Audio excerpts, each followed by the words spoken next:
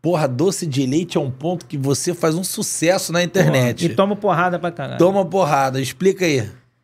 Então, é.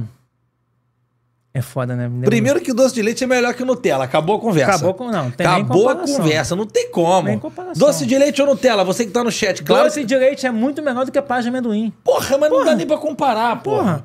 Então, aí tu vê uns nutricionistas falando assim: ah, mas doce de leite dá insulina, dá diabetes, aumenta a insulina, pico. Dá, pô. Se o filho da. Comer um pote. Não, vai comer um quilo de. Agora, o nutricionista, porra, tu vai falar que uma colherzinha de sobremesa. Só de aquela so- linguada. Ah, pô, 20 gramas de chocolate, que é uma colher caprichada. Vai aumentar a insulina de alguém? Pelo amor de Deus. Aí, emagrecimento, matemática. Gastar mais do que come. Sim. Tem que ter nutrientes? Claro que tem que ter. Essencial. Eu não discuto o básico. Tem que ter nutrientes. É, aí tu pega uma colher de pá de amendoim. Tem 140 calorias. Uma colher de doce de leite tem 60. Ué, tem metade? Metade das calorias. Então muito mais acabou o mito. Porra, Então tem. agora é pão francês com... Ah, com- mas aí esses dias eu vi nutricionista postando. Ah, porque agora teve uma legislação aí que teve que mudar o rótulo, né? Dos alimentos. Os alimentos que contêm muito açúcar tem que estar escrito lá no rótulo. Contém muito açúcar. Aí o nutricionista falou: ah, e aí, acabou? Será que vão ter esses nutricionistas aí, Nutelas, que prescrevem doce de leite? Aí eu respondi assim: mas tu esperava encontrar o que no doce de leite? Sal? Caralho, porra, tem muito açúcar, mas é óbvio que tem muito açúcar, mano. Bom pra caralho. Porra. Ah, é óbvio que tem Peraí, muito açúcar. doce de leite, uma colher de doce de leite tem menos caloria que uma colher de pasta de Metade. amendoim? Pô, mas Metade. isso mudou a minha vida, porra. Se você for comparar nutrientes, a pasta de amendoim tem mais nutrientes. Mas, pô, tu tá procurando nutrientes na pasta de amendoim, vai procurar no brócolis, caralho, no tomate. Mas não tem nutrientes, vai procurar no brócolis, na fruta, Ah, vai porra. procurar. O pessoal come pasta de amendoim, vai matar a vontade do doce. Do então doce. come doce de leite que tem metade das calorias, pô. Dá pra tomar duas colheres, pô. Ah, duas, porra. E é muito mais... Tu já pegou um pãozinho quente saindo da... da... Moleque, doce de leite é vida. E vou te contar um negócio. Doce de leite, ele não congela. Tu mete ele no congelador, ele não congela. Igual vodka. Não que eu saiba, mas Não, me contaram. é, o Thiago, pô, O Thiago, para, porra, Thiago. de novo, mano. Ele falou que é, Fireball também não. Aí, pô, Fireball, mano. Porra, Rio Congela 43. não. Congela também não. Não pariu. congela. Não me contaram. Tu pega o pão quentinho, tira o, leite, o doce de leite do congelador, gelado com quente, sai até aquela fumaça. Mano. Puta que Bom pariu. Aí eu vou puta comer um quando chegar em casa hoje, eu vou De- te marcar. tu Cara, eu ver. tive em Itaipava final de semana Bom com a família, fui demais, passar o dia dos pais.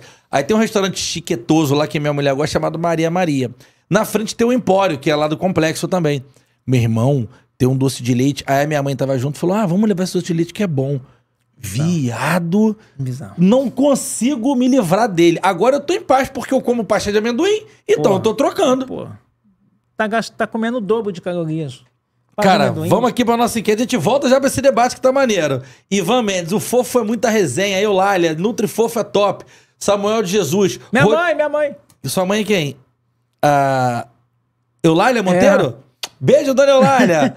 Leandro Gussen, jogo das 11 da manhã. E também quero falar disso. Caralho, Rodinei uma vez deu uma entrevista desse jogo aí. Puta que. Vou falar já. Ó, Samuel de Jesus. Rodilindo sempre reclamava de jogo às 11. Ter que comer um prato de macarrão já cedo. Como era esses dias? Boa. Fala Cara, aí. então. Imagina, o jogador ficou. Dormiu, tá? E quando a gente dorme, a gente consome o estoque de energia. Como se esse copo aqui tivesse cheio d'água e aqui fosse a energia que o jogador precisava pro jogo. Só que ele acordou, ficou, dormiu 6, 7, 8, 9 horas, acordou com o estoque vazio. Então, nesse momento, a gente precisa focar em encher esse estoque aqui o mais rápido possível, para que ele tenha performance no jogo. Então, a gente tem ali 3 horas para poder repor a energia que ele gastou à noite. Gastou como? Porra, funcionando na máquina. Roncando. respirando, dormindo, pô, ba- coração batendo, gasta.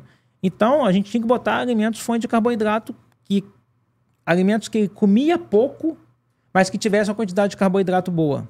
Macarrão, por exemplo.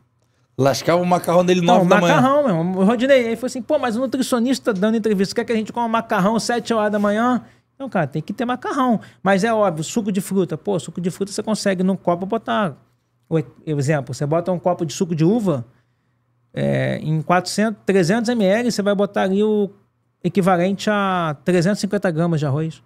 Pô, a gente tá falando um copo de suco de uva, tem a mesma quantidade de- do que 12 colheres de sopa de arroz. O que, é mais fácil o cara comer? Um copo, tomar um só copo de suco de uva ou comer 12? Uva, colheres? porra.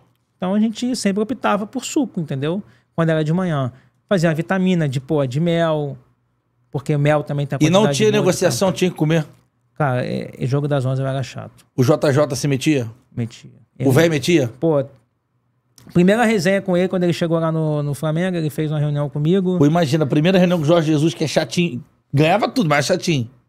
Cara, ele chegou na reunião e falou assim: jogador se pesa todo dia. Hum. Aí eu falei assim, mister. Eu com aquele jeitinho, né? Eu falei assim, cara.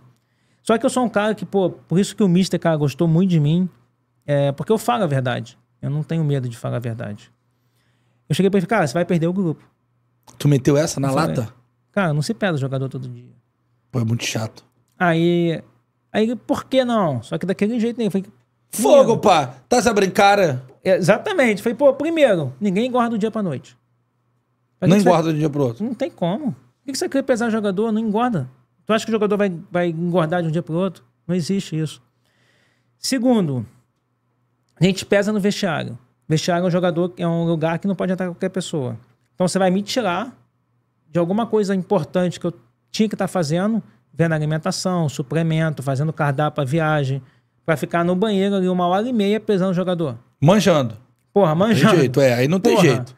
Não tem como, meu irmão. Aí ele falou assim: É, pode ser então. Tem razão. Ninguém engorda do dia pra noite. Então vamos pesar só uma vez por semana. Eu falei, tá bom. Pesar uma vez por semana. Convenceu, aí, meu velho. irmão, tu começa a ganhar tudo, aí tu pesa nunca mais. Joga a balança fora. vai pesar três vezes por mês, a cada três meses e tá bom. Se amarrou no corte, né? Então me ajuda, pô. Eu quero aquela plaquinha de 100k. Se inscreve no canal, me dá essa moral. Vamos comemorar junto. Eu quero essa plaquinha. Se inscreve aí, dá like e ativa a notificação.